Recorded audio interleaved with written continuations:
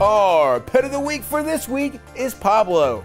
This Siamese sensation is a two year old, fully vetted male that loves to talk and snuggle. He loves kids and is great with dogs. This social butterfly is curious and playful and would love to be your lovable lap cat. To adopt Pablo or to foster one of our other animals, you can come visit us Monday through Saturday at our shelter located in Manteo.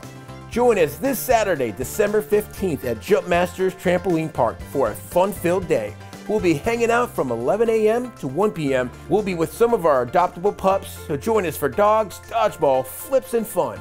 For more information, visit our website at www.obxspca.org or you can visit us at our Facebook page.